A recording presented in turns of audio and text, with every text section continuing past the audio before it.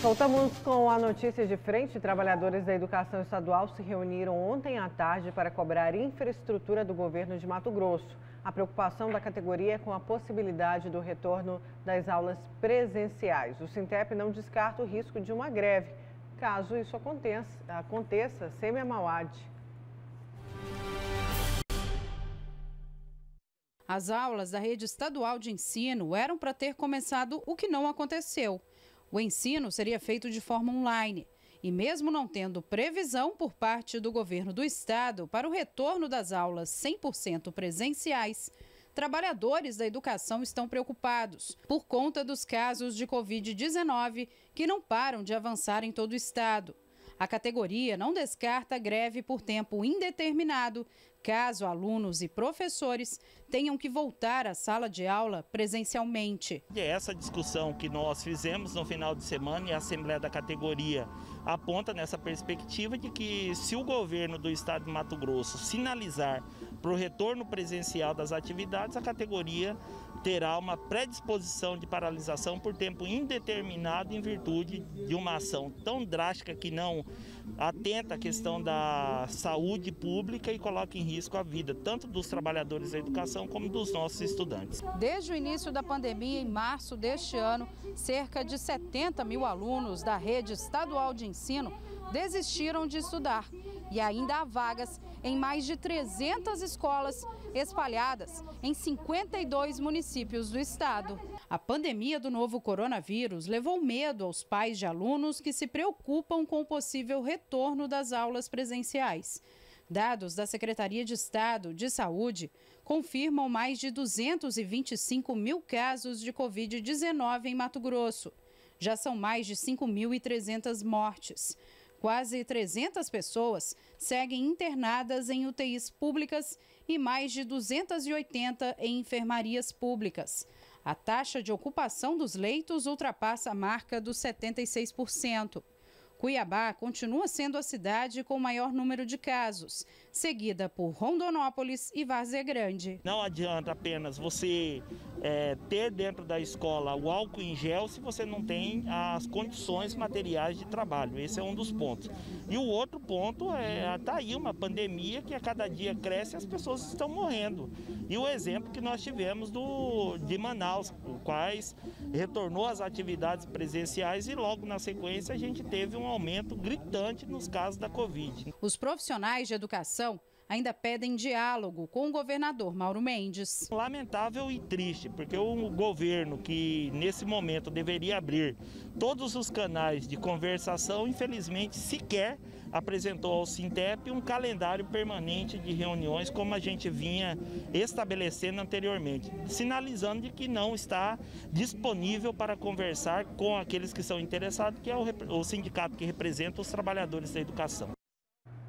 E esse assunto de Haroldo Arruda Júnior, não é isso, Haroldo? Exatamente. Gente precisa esclarecer essa questão da, da, do retorno às aulas nas unidades estaduais de educação, das escolas estaduais de educação aqui no estado do Mato Grosso, até para que não se tenha dúvida e não se coloque, sobretudo, a sociedade contra os professores. Né? É, hoje nós temos 700 unidades escolares no estado do Mato Grosso, são 40 mil profissionais na área da educação, 380 mil alunos. Só que o discurso do governo, existe uma distância muito grande entre o discurso do governo e a prática. Mas muito grande. É muito fácil você fazer decreto, querer voltar às aulas, né, fazer com que os professores retomem de forma remota, se você não tem a mínima condição de infraestrutura. Sejamos justos. O governo, no ano passado, em dezembro, depositou 3 milhões e meio de reais nas escolas ou mandou para os gestores escolares dinheiro para que se tivesse biossegurança, para que a coisa pudesse acontecer nas escolas com toda a segurança possível. Mas não é assim. Se de um lado você não tem a infraestrutura necessária para a transmissão das aulas de forma remota, que deveria começar na semana passada, nesta semana, ontem, e não começou de forma complicada, né? existem outros agravantes nesse processo todo que a sociedade muitas vezes não, não sabe. Existe falta de professores. Não são poucos, são muitos professores. Muitas disciplinas não estão cobertas por conta de falta de professor. Existem escolas estaduais que não têm segurança. Falta o vigia para cuidar da escola. Não dá segurança nem para os pais, nem para os alunos, nem para os professores. Então não está só necessariamente nessa questão de dar condições é, é, com, com, de, de biossegurança para que o professor possa trabalhar. Um outro detalhe importante nesse processo todo é a questão democrática da aula. Tem aluno que não tem acesso à internet, ele não tem acesso a absolutamente nada. Aí o secretário de Estado de Educação diz o seguinte: não, mas peraí, ele pode estudar por apostila, ele não tem internet, ele pode estudar por apostila. Tá bom, mas ele tira dúvida com quem? Ou seja, qual é a qualidade da aula dessa forma? Me fala, qual é o objetivo da educação? Dar aulas com qualidade, fazer com que o aluno tenha, tenha condição de aprender o conteúdo, de entender, né? de ter o conhecimento de forma plena e ampla, de forma democrática. E, de outro lado, dar segurança para o professor, para que o professor possa ter condições tecnológicas para isso, de um lado, né? e quando a aula presencial voltar, tenha, de certa forma, toda a segurança com relação à Covid-19, até porque já foram 30 professores que perderam suas vidas por conta da pandemia. Então, é isso que o governo não entende. Quem está decretando, quem está assinando, quem está pedindo para o professor retornar à sala de aula, possivelmente nos próximos meses, e essa é uma preocupação dos professores, não está em sala de aula. Ele é bom para mandar, mas não vai lá ver qual é o problema da sala de aula. Não vai lá, não conhece a realidade do dia a dia do professor, do coordenador, do gestor. É isso que incomoda os professores. E isso realmente é um problema muito grande que o governo precisa entender. Eu já tinha dito lá atrás que na rede privada já seria difícil, com toda a tecnologia, escola que muitas vezes tem uma mensalidade de dois mil reais, três mil reais, escola top de linha na linha privada, tem dificuldade remota de dar aula, com câmeras de última geração, com professores com equipamentos doados muitas vezes pelo, pelos próprios, pela própria instituição privada, para dar aula em casa de forma remota, com internet de banda larga da melhor qualidade. Tem problema. Quanto mais no ensino público, que o professor não tem condição, não tem a, a, a internet, né? não consegue, não consegue nem a senha para entrar no aplicativo, no software Classroom, Google Classroom, para poder dar aula, que é o mínimo que ele tinha que ter. Só para vocês terem uma ideia, na semana passada foi a semana pedagógica, em que a Secretaria de Estado de Educação convoca os professores via de forma remota para dar algumas orientações sobre o ano letivo. Quase que não funcionou. Quase que não funcionou. Sabe por quê? A internet caía. Toda hora. Caía. Detalhe.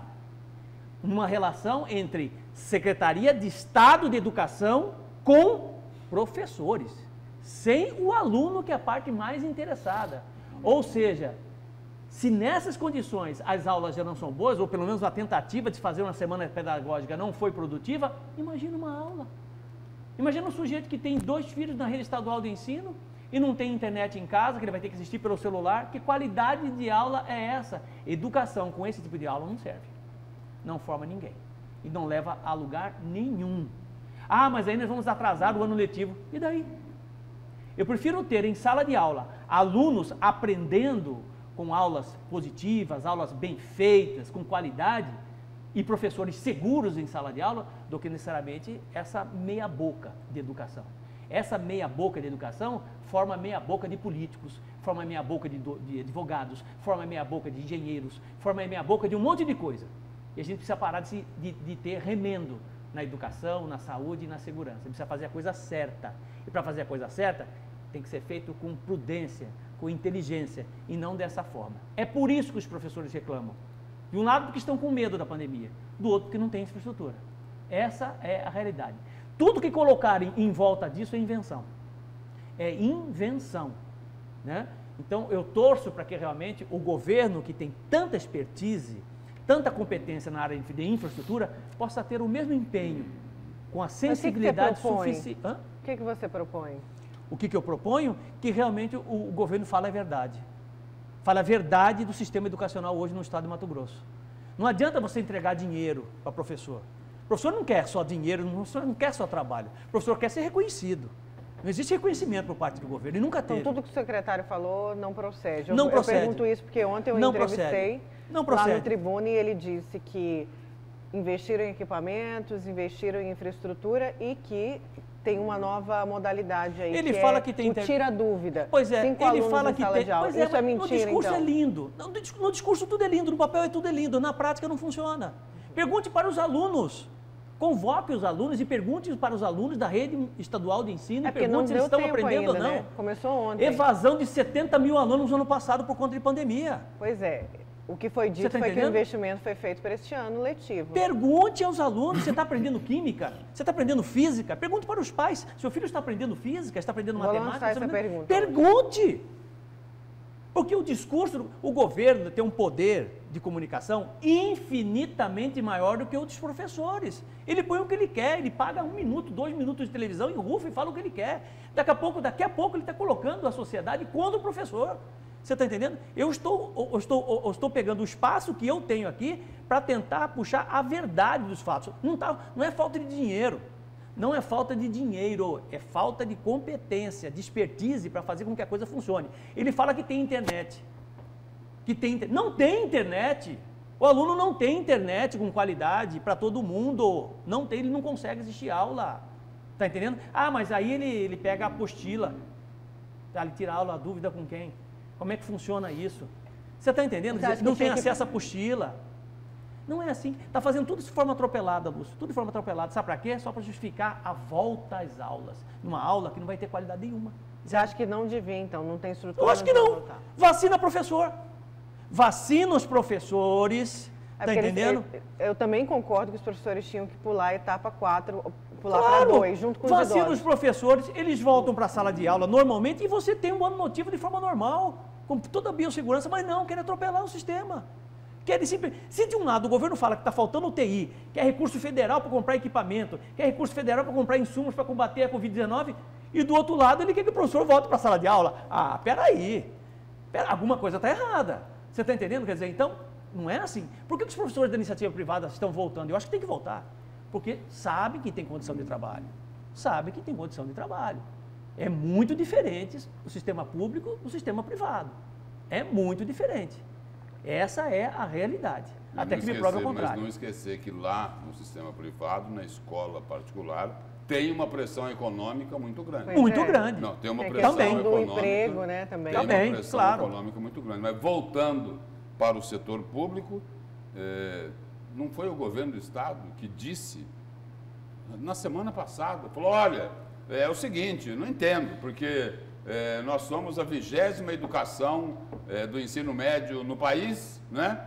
E pagamos um dos melhores salários. E esse, aí? É, esse é o mal dos gestores, Lúcio. É tudo nas costas do professor? Exatamente. E aí, e aí não vai melhorar a Lúcio, estrutura? Você sabe o que, que, que, que Não vai melhorar o apoio, a qualificação? É, eles entregam, eles entregam, isso que eu vou falar para todos os, os, governadores, ou quase todos os governadores, ou quase todos os gestores, governadores principalmente, eles entregam um giz e um, e um apagador na mão do professor e falam assim, ó, mude a sociedade, se vire, muda a sociedade. É a sua responsabilidade. Não é assim não. Não é assim que se muda um país, não é assim que se muda um Estado. É? Valorize o professor. Ele não está tá só preocupado com, com questão salarial, não. Ele, a valorização é muito diferente da questão salarial.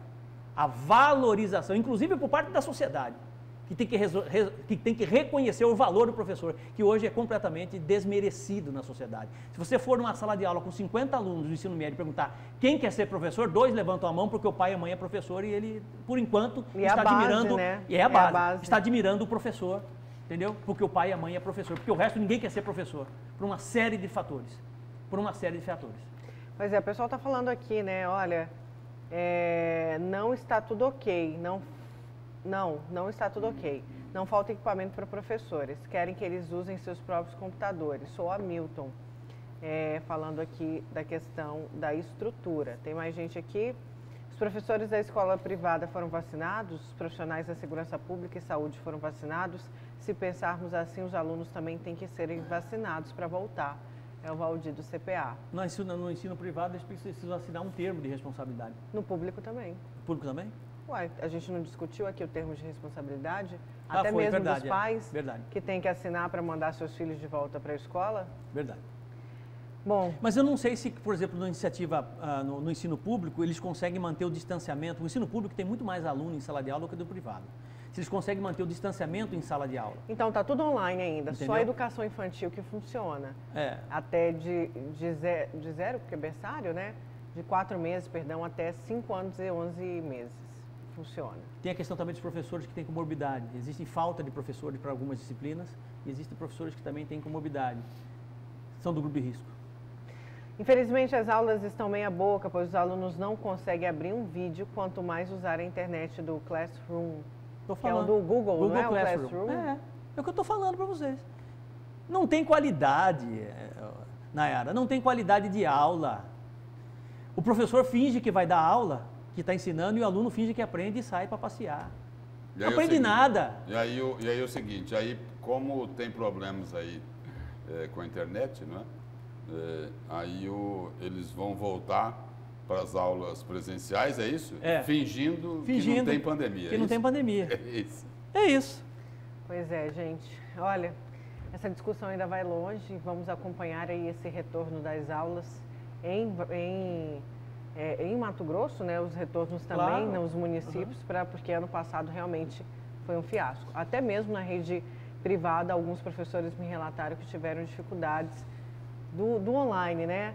Mãe passando nua atrás da, da aula online do Vixe. filho, filho dormindo e o professor ali tendo que acordar, gritando, acorda, menino. Então, assim, ninguém estava preparado para tudo isso que estamos vivendo, infelizmente. E a saúde mental também tem que ser levada em conta e tem que ser acompanhada perto do poder público, desses profissionais.